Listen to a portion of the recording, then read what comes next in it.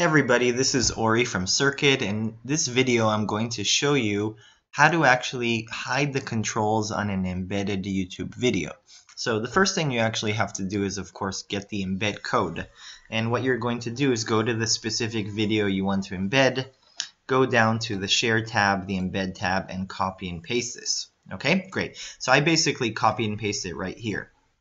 Now, uh, I this example is just an HTML which I put on my own computer, but you can of course do that on your own server. Okay, and what we're actually going to do is in addition to this code, at the end of the URL, we're going to add a question mark equals control eh, excuse me, question mark controls equals zero. And once you do that, it will actually hide the control. So if I hit play right now, you can see there's Hey everybody, this is Okay, excuse me, I had to pause that. There's no controls here, and that's it. I hope you enjoyed this video. Thank you.